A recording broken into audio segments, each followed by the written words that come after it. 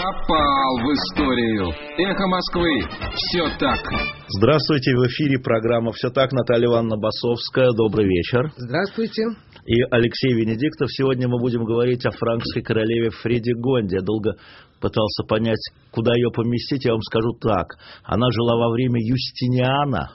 Прошло только 78 лет со дня падения Западной Римской империи. И умерла она, когда Августин Великий отправился в Великобританию. Вот приблизительно так. Контекст, конечно, более чем сложный. Любопытно, что французские историки не очень любят эту страницу своей, скорее, предыстории, потому что она безмерно кровавая, безмерно страшная. Я бы сказал так. А наша героиня Фредегонда – героиня междоусобицы в королевстве франков эпохи поздних мировингов. Первая династия – франкских королей германских после падения Западной Римской империи. Это раннее Средневековье, э, где произошел синтез соединения римских институтов, традиций э, с германскими, э, такими еще достаточно родоплеменными. И кровная месть здесь главная тема. Э, внуки Хлодвига, первого правителя франков. Э, это, в общем-то, был юноша, а, сначала до него был некий легендарный Меровей, это легенда, как бы сын земной женщины и морского чудовища. Так считали. Похоже. Да, чудовище там замешано. Совершенно с вами согласна. Затем Хильдерик I такой полулегендарный, и Хлодвиг, который принял христианство. Ну, который, который крестил, вот как который, Владимир у нас, да. только задолго до. Это самое главное. За 500 лет до. 400 486 году, 490... За 500 лет, за 500 да. лет до да. Владимира. Он просто стал королем. А его по их традиции подняли над собой воины. Все, этого щит. достаточно. Ты король, да. Ты король. А после этого он, как юноша очень деловитый, правильно выбравший ортодоксальную веру, ортодоксальный вариант христианства, это ему пошло на пользу, потому что сразу э, церковные прилаты стали опорой, союзниками. Мы это увидим, многие из них союзники. А, он а, разослал сразу гонцов во все концы, чтобы убить ближайших родственников, чтобы не было распри. Вот так они и жили, эти мировинги, которые закончат свое правление, на смену им придут новая династия по имени Карла Великого Каролинги, до середины восьмого века. Так они и будут жить, непрерывно делясь друг с другом, э, занимаясь кровной местью. И наш персонаж, наша героиня Фредегонда, здесь среди первых лиц.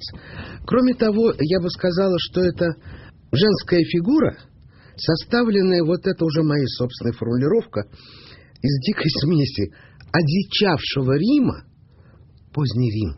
Но это же ужасные фигуры там э, мать э, Нерона, Агриппина старшая, это страшные люди. Ну, рядом с нашей героиней сегодняшние они белые овечки. Ну, не совсем. И все-таки это смесь одичавшего Рима и яркого германского варварства, которое еще вполне цветущее. Это ранний образец безумного по-женски властолюбия, Властолюбие – общечеловеческое свойство, особенно в те былые эпохи. А вот женское, оно отличается каким-то особым безумием подчас, э, слегка присыпанным чадолюбием. Вот это, допустим, Агриппина-младшая, это 15-59 годы новой эры, и Екатерина Медичи в XVI веке. Вот это женское властолюбие э, с особой жестокостью, скажем так. Ее колорит э, обеспечил ей место в последующих произведениях литературы, эпоса, какие-то отзвуки. Опера Фредегонда. Да, несколько опер, э, драматические спектакли. Есть даже астероид, названный Фредегонда. О, Господи. Открыт в 1909 году. В силу какой-то тогдашней наивности дали этому астероиду такое имя. Э, что почитать? Любопытно. Дело в том, что есть опубликованный, переведенный на русский язык, главный источник, главное повествование об этом времени замечательного писателя, который впитал еще римские традиции, но жил в это дикое время, епископ Тура, Григорий Турский, история франков. Чуть не стал жертвой этой девушки. Близко-близко было. От рождения он Георгий Флоренций, а позже принял имя Григория.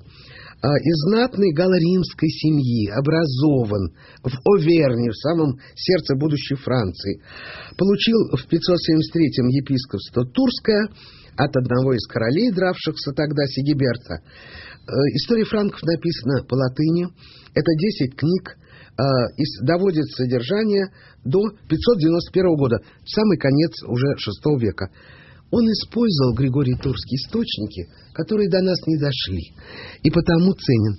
Издан по-русски, можно найти эту книгу и почитать. А главное, на русский язык переведена книга удивительного французского э, историка и писателя XIX века Агюстена Тири. Называется «Рассказы из времен мировингов». Это чудо.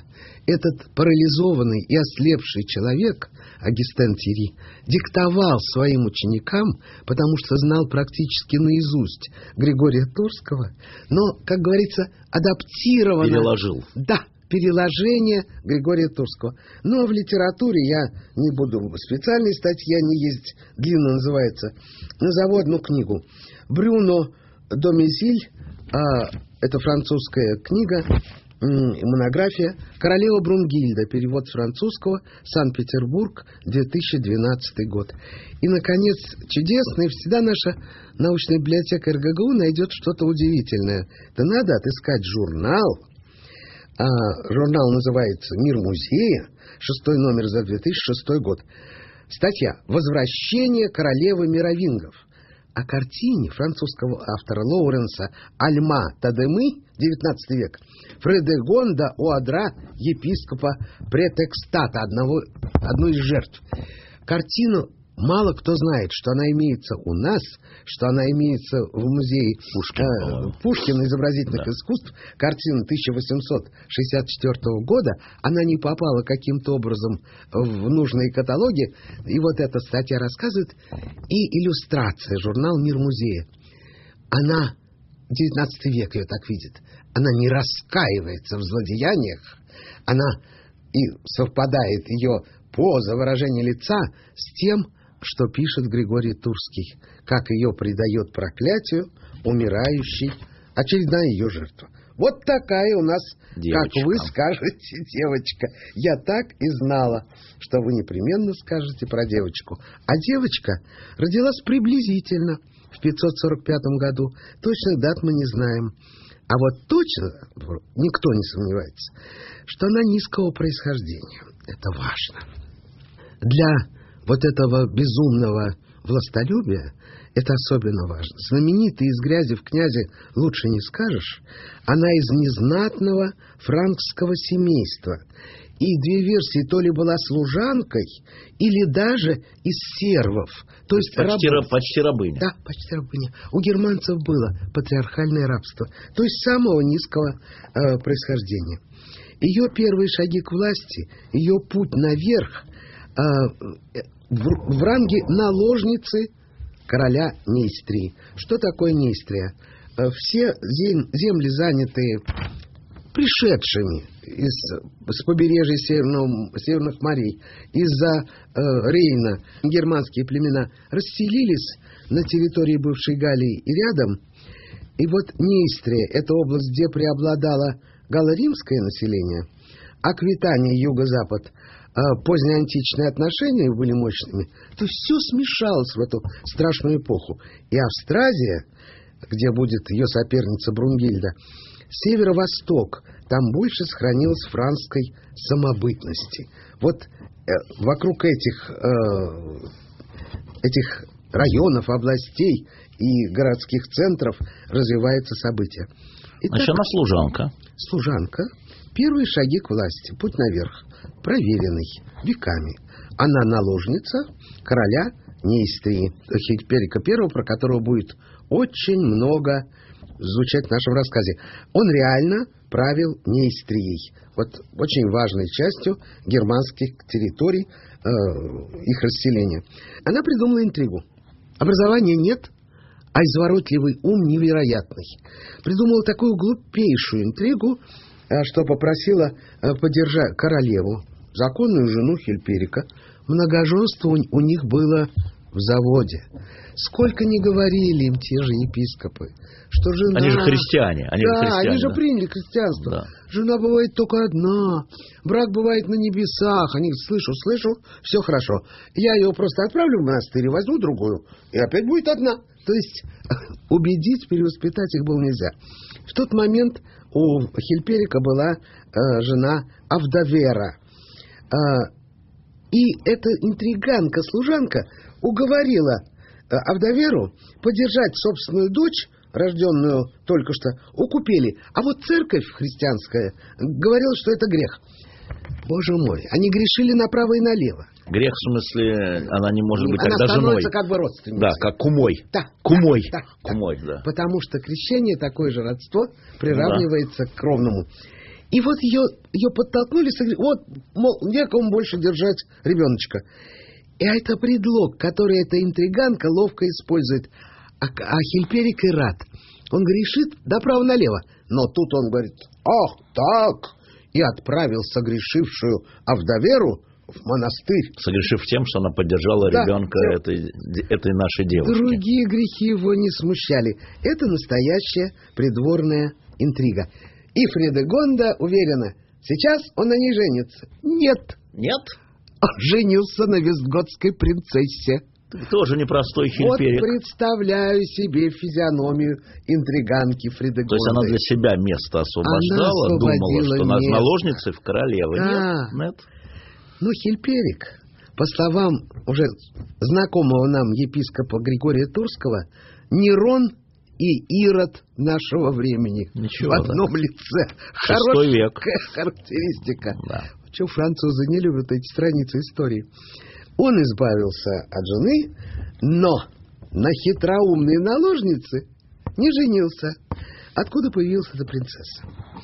А, Вестготская. Вестготы поселились на Пиренейском полуострове во время Великого переселения народов. Это будущая Испания. Мгм. Там более цивилизованное королевство Вестготов. Там э, сильнее традиции э, цивилизации. Это очень цивилизованный двор. И вот оттуда у брата, родного брата Хильперика Сигиберта, а, который был королем Австразии, вот из Другой Сиги- части Франции. другой части Франции будущей. Вот Сигиберт женат на Вестготской Тоже на принцессе Визготской принцессе. Брунгильде. Так. Брунгильда гораздо более образованная, чем это наша Фредегонда.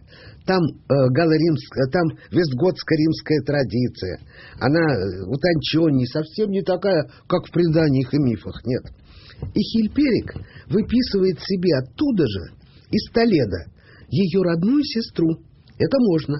Братья могут жениться на, э, На сестрах. сестрах. А Галисвинту. Ой, несчастное существо. Это примерно 565 год. Он хочет быть не хуже брата Сигиберта, Породниться с визготскими О! королями. а породниться с визготскими королями э, выгодно. Э, они достаточно богаты, у нее неплохое приданное. Правда, король Вестготов, э, Леовигильд, ой, такие все имена, Имена, да. Леовигильд, потребовал, и Хильперик обещал, он все легко обещал, чтобы Хильперик сейчас же изгнал наложницу.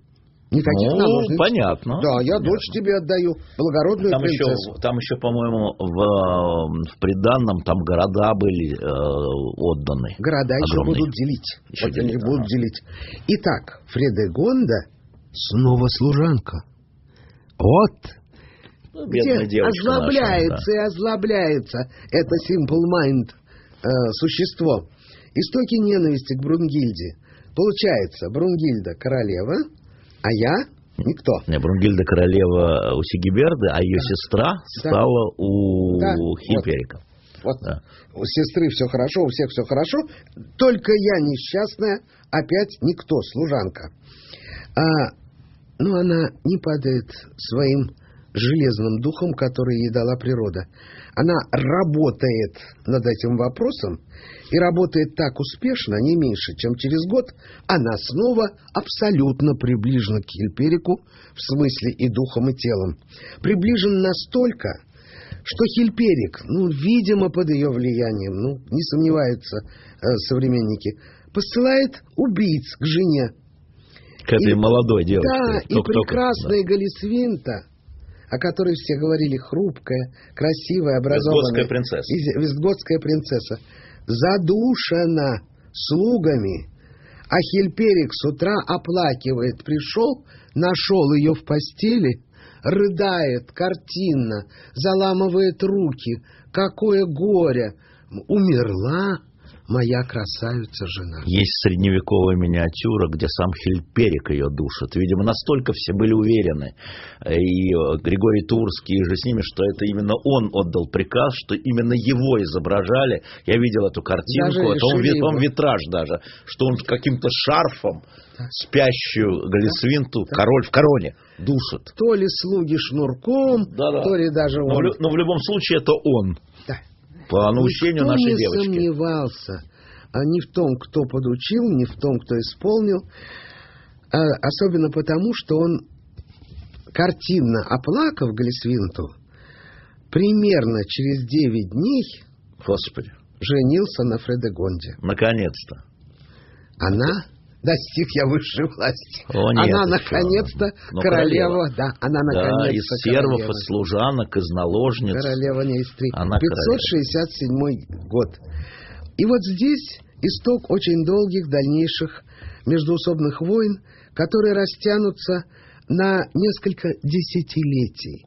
Они так и будут жить постоянно в условиях абсолютно непримиримых кровавых противоречий, столкновений, и лишь на время объединяются и снова распадаются, и на некоторое время они объединятся, э, заметное время, только уже в VII веке, после смерти всех этих персонажей. В 613 году на некоторое время э, при Хлотаре II коротко, а затем смена династии, Каролинги, и будет другая страница истории будущей Франции, э, будущей Бургундии, фактически независимой, э, некоторой части германских земель. Так что это вот такие размыты. Надо напомнить, что, собственно говоря, Хильперик по научению нашей прекрасной героини а, убил сестру королевы Брунгильды, сестру, которая является женой его родного брата Сигиберта. То есть это такое семейное дело образовалось. Глубоко ужасных э, противоречий, непримиримой ненависти, э, кровавых столкновений. Но, надо сказать, событие это, значит, примерно 567 года. А девочке всего 20 там с лишним. Почти ребенок. Да. Вообще вот эти злосчастные международные браки во все времена, начиная с раннего Средневековья и включая времена абсолютизма, они такие трагические, такие страшные, просто пугающие. И все-таки была попытка преодолеть мирно противоречия и урегулировать эту семейную Но там война же началась, там Брунгильда подговорила брата, чтобы он отомстил за ее сестру. В 569 году угу. была попытка урегулировать, э, после которой еще хуже. Это Брунгильда понятно. поклялась отомстить Хильперику, естественно, за смерть своей сестры Галисвинты. И вот начались бесконечные распри. Пытались остановить однажды с помощью общенародного судебного собрания. Такое вече такое, это да? Очень интересно, да, это очень интересно.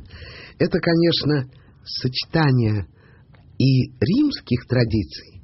Все-таки народное собрание, пусть оно стало потом символом, но это практика античной республики. Сенат, совещательный орган, э, суд избираемый и германских традиций. Все решаем вместе. И вот они собрали собрание. Инициатор собрания третий брат Гунтрам. О, боже мой, страшное дело. И попробовали принять постановление. Постановление этого суда собрания. За убийство, никто не сомневался, что это убийство Хильперик То есть должен... то, что она умерла во сне, это уже не никто не принял. Никто не принял. За убийство пишут в постановлении. Да. Хильперик должен передать сестре убитой Галисвинты, так, Брунгильде, пять городов, Просто вы это уже упоминали, только да. чуть-чуть рановато. Извините. вот, да. вот это никаких. Пусть они вас извиняют. Да. Это страшные люди.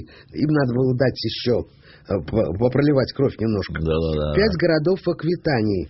Значит, за убийство Хильперик должен отдать какие города? Это приданное было. Это было приданное да. убитой Галисвинты. Вот Бордо, Лимош, Кагор, Биарн, Бигор – это ровно на границе Франции и Испании будущей. То есть это крупнейшие, это крупнейшие торговые, красивейшие, богатые города. Это важнейшие центры торговли, перемещения. Знаете, как они называются? Назывался утренний дар. Как утренний приданное. Дар. Утренний дар, утренний. как приданное. Угу. То есть отдать приданное убитой, убитой твоей новой женой той самой жены. И вот видите, за убийство Вира. Плата, вира. А в России это тоже русская правда. Это варварство. Это раннее средневековье. Ответ Хильперика был прост. Он занял тоже города. Города Сигиберта. Какие? Тур и Пуатье. Пуатье — это сердце будущей Франции. То есть э, он выполнил то, что от него потребовали, но решил от своего брата и его жены Брунгильды, небось тоже Фридегонда подговорила, забрать, комп... а это называется компенсация. А ты бери. И он силой взял эти города. Значит, распря будет продолжена. Братишки. Наталья Ивановна Басовская в программе «Все так». Мы вернемся через пять минут. Одна правда хорошо, а две лучше. Эхо Москвы. Все так.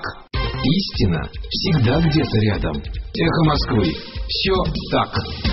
Наталья Ивановна Басовская, программа «Все так». Мы говорим о королеве, королеве, королеве Фредегонде. Наталья Ивановна, и так братья сцепились.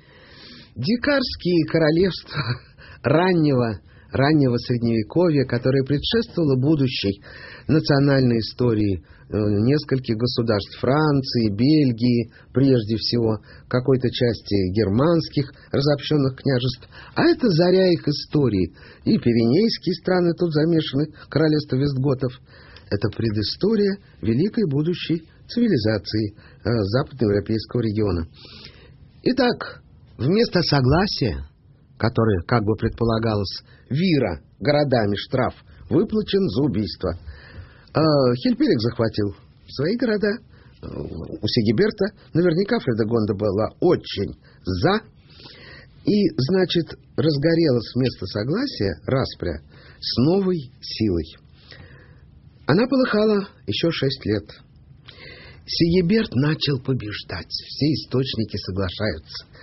Тогда Фредегонда, мы уже знаем, что она должна была сделать, подослала к нему убийц. Э, вариации. То ли в лагере они прошли в шатер Сигиберта, в лагере... Это брат ее мужа. Брат ее мужа. Родной брат Сигиберт, э, женатый на сестре убиенной, ну, да. женатый на Брунгильде. Прошли два раба, два воина, по-разному называют, два человека с кинжалами, очень длинными ножами, притороченными к поясу. Э, были ножи, которые назывались скрамасаксой. Все ходили с такими ножами, поэтому никто ну, особого внимания, да, да, особого внимания Но, не видимо, воины, рабам-то, наверное, как бы оружие. Скорее воины. И вдруг набросились, Якобы с посланием.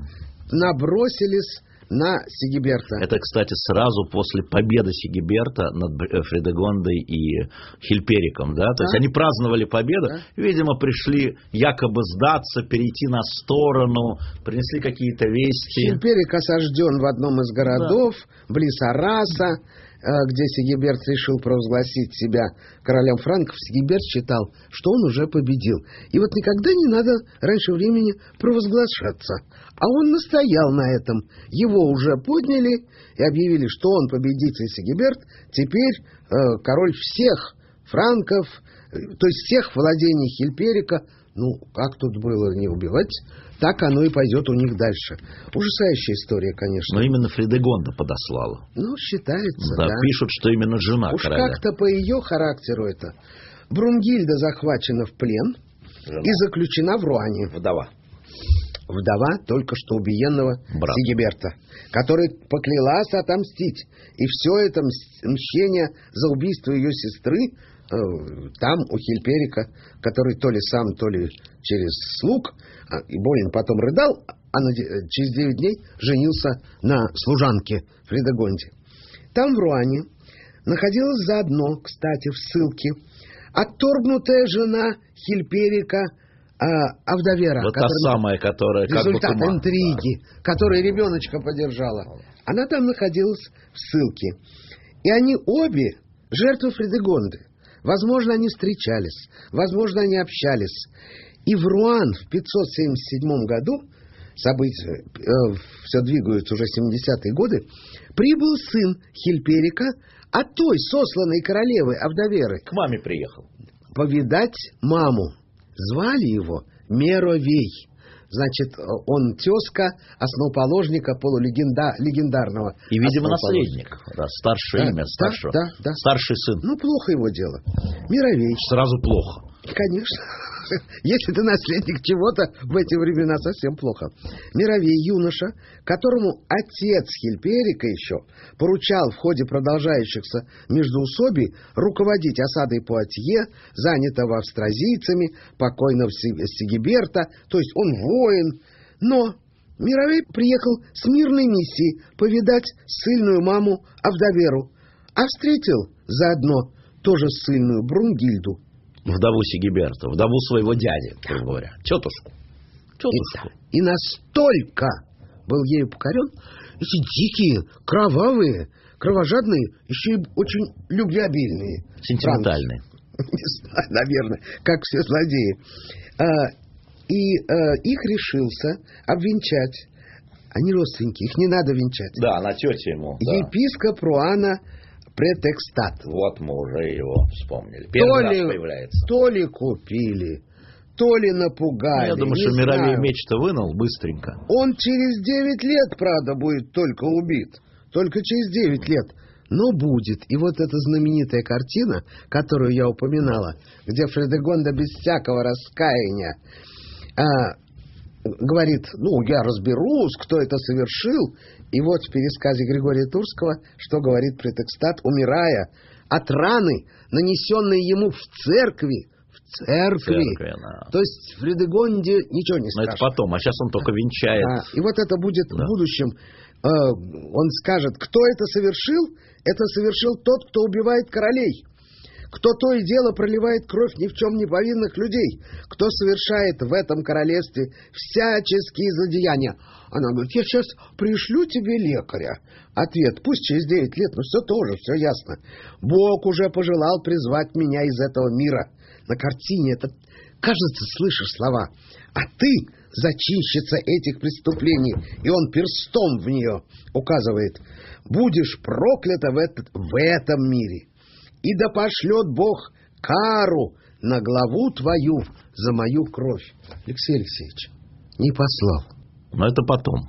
А, а сейчас, он, а сейчас он венчает. А сейчас он венчает. Он взял и обвенчал этих фактических родственников, юноша Мировея и э, молодую привлекательную вдову Брунгильду, взял, э, обвенчал.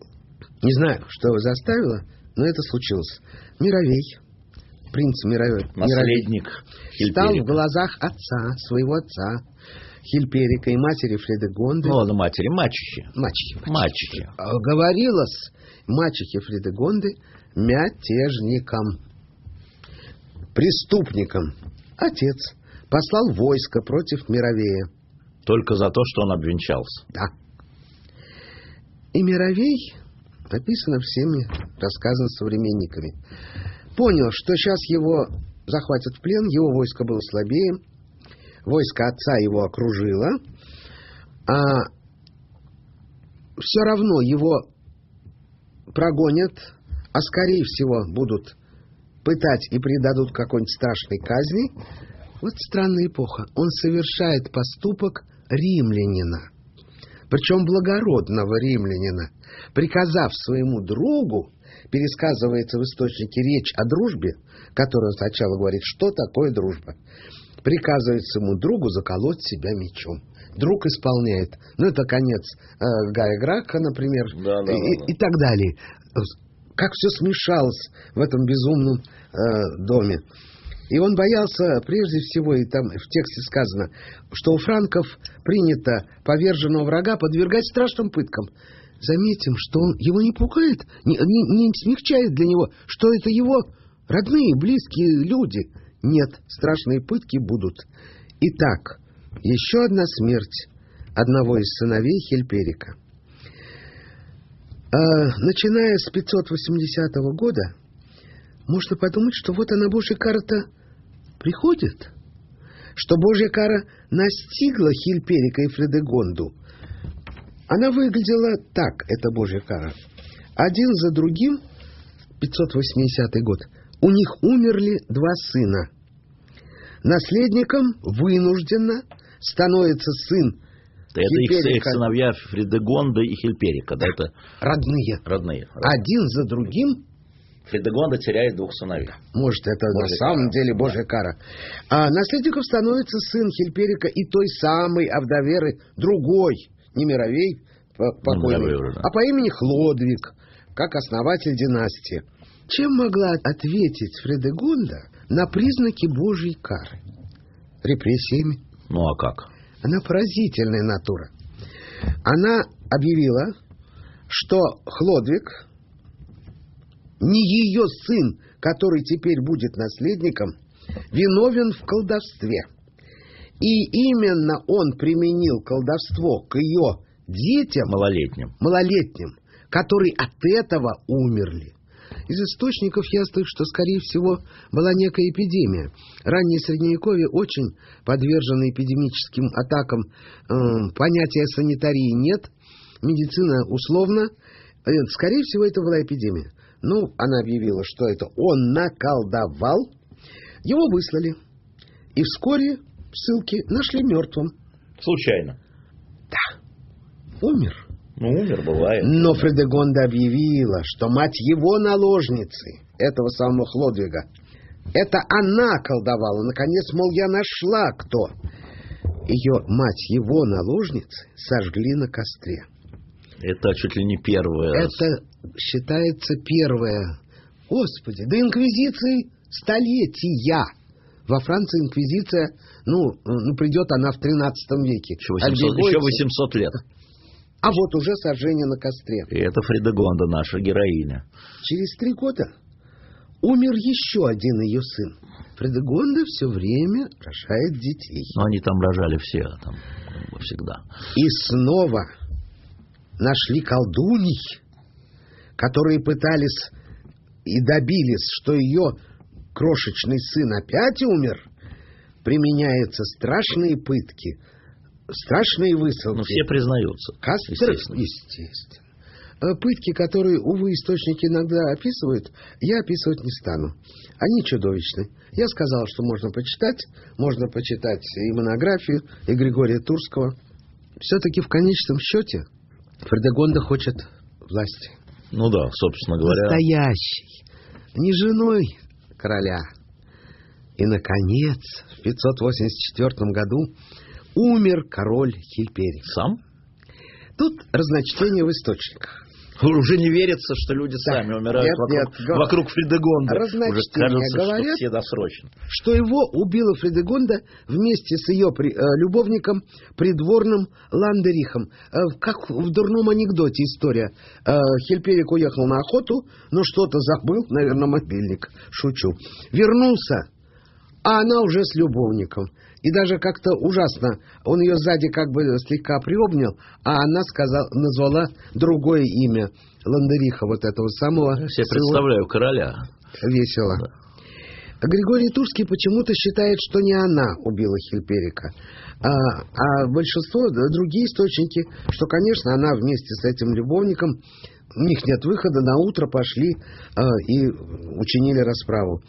Э, Григорий Турский в лицах описал расправу над как раз тут над предекстатом, э, смертельно ранен прямо в церкви. То есть предыгонда это какой-то комок злодеяний, убийств. И Божья кара э, ее то ли настигает, то ли не настигает. Она, у нее появляются новые дети. Она не сдается. Она не падает духом, не впадает в молитвенное какое-нибудь состояние. Удивительная натура. Не раскаивается, не идет в монастырь, ничего. Удивительная натура, но мы, конечно, должны допускать, что э, времена такие, когда историк-писатель, это же не строгий историк в строгом ну, да. смысле слова, он немножко раскрашивает эту историю, он очень много пересказывает того, что люди говорят. Ну, смотрите, нет такой фигуры больше, как Фредегонда.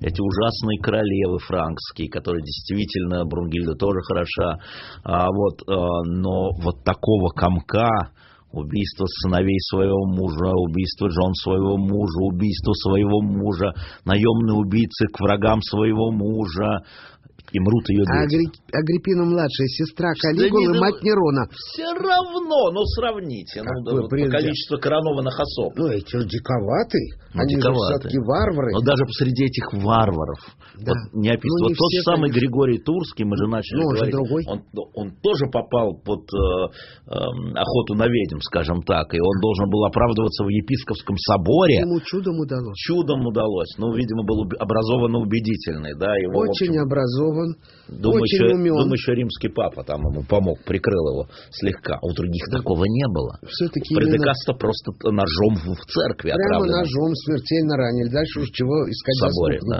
да Поэтому э, вот наша э, девушка становится королевой при малолетнем сыне своем. Все-таки один. Ради чего все она делала? Вот это от служанки, да, и столь, столько трупов. Тут и становится понятно, ради чего она все это делала ради власти.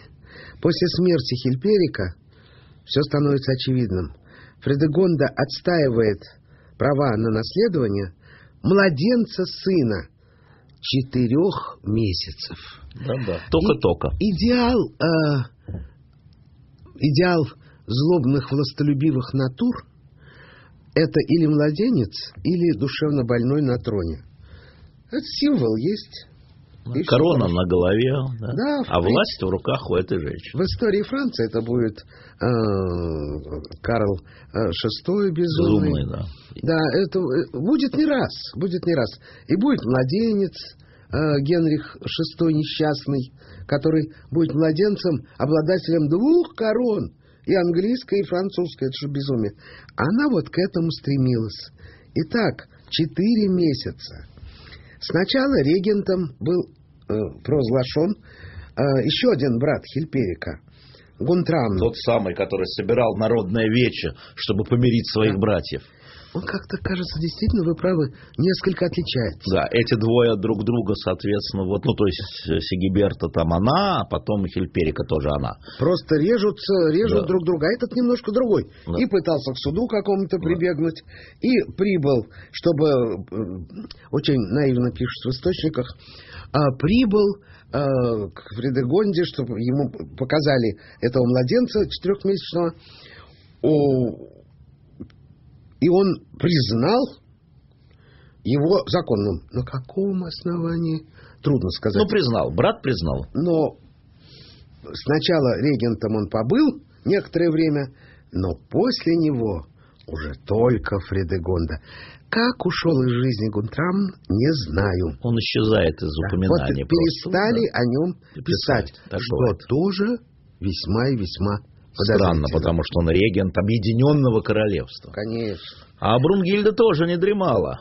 Она же сбежала это из-под распря, стражи. Это распря неостановимо.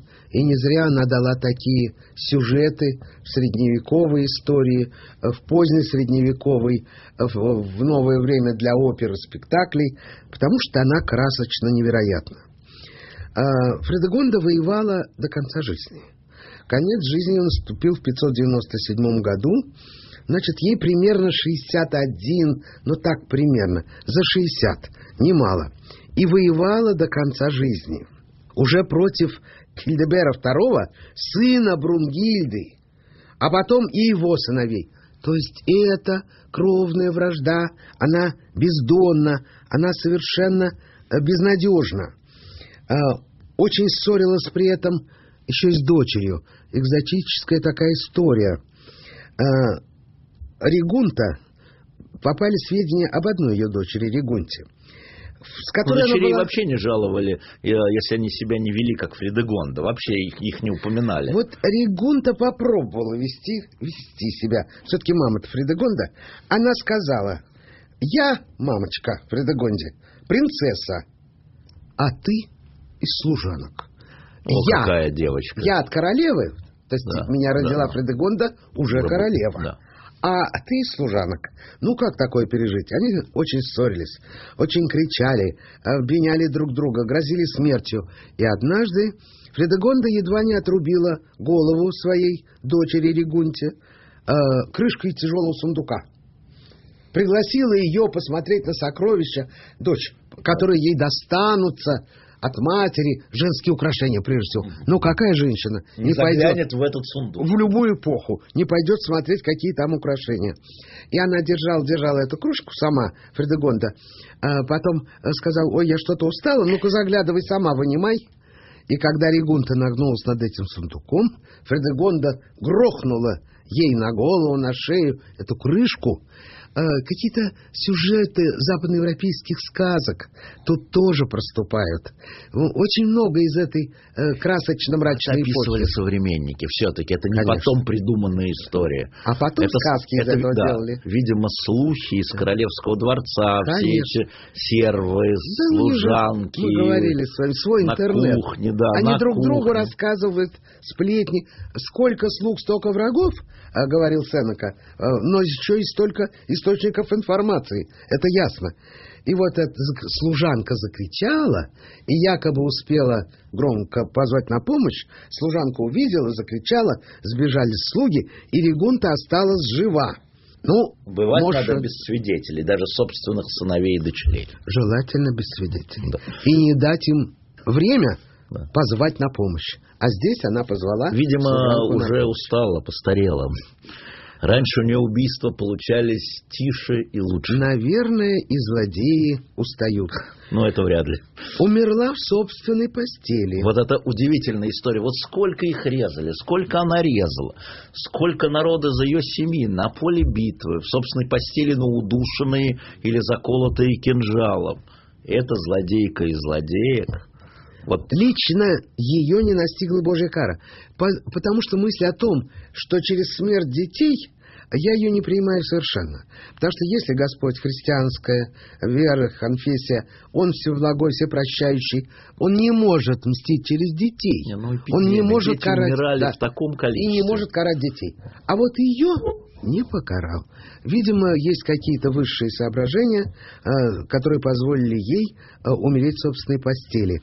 Э, сохранился могильный камень в, в Париже, в Сен-Дени. Еще до революции ее э, могила или саркофаг, если угодно, э, он был. Но потом во время революции все это разнесли, естественно, революционеры все выкинули. Да. И сохранился, да, саркофаг в Сен-Дени, там, где могилы французских королей. Этот камень с изображением э, ее ну, части фигуры, поясной, ну, типа да, да, поясной, поясной да. портрет, да. Женщина, условная женская фигура. Королева. Королева, королева, королева, королева. Покрывало королевское. Да. Вы, наверное, припоминаете, был, как это выглядит. Я был там, да. А, но вы знаете, что меня больше всего поражает в этой истории, что ее сын унаследовал ее характерец, а, который стал королем, Хлотарь II. Он догнал уже за порогом смерти ее соперницу, королеву Брунгильду, ту самую. Она не умерла в собственной постели, Брунгильда. Брунгильда кончила жизнь страшно, чудовищно. А, и опять, опять необъяснимо, почему именно Брунгильда. Ну, известно, что ее... Э, австрази... 87-летнюю королеву. Очень старую женщину, австразийцы, которые тоже... Сын, Фреде... сын Фредегонда. Да. Сын Фредегонда. И, и публика успели возненавидеть за распри. За распри. Люди устали. Разорвали от лошадьми. И ее приказали разорвать. Лошадьми. То есть кровавая история имела кровавое продолжение. И самое удивительное, что вот не можем сказать, вот, вот видите, как ее жизнь наказала, нашу Фредегонду, наказала почему-то Брунгельду. Да. А Фредегонда осталась и в культуре, между прочим, да, в культуре все-таки злодейкой номер один. Его наши любимые Агриппины не догоняют. Материал для Шекспира вполне пригодный. Наталья Ивановна Басовская, Алексей Венедиктов в программе «Все так». Правды не спрячешь. Эхо Москвы. Все так. Программа «Цена победы». Э, добрый вечер. Программа «Цена победы». И мы ее ведущие Владимир Рыжков. И Виталий Дымарский. И я Виталий Дымарский, да. Э, сегодня у нас такая необычная, необычная программа. Э, мы сегодня работаем по связи. Надеюсь, что она нас не подведет. А на том конце провода, как у нас принято,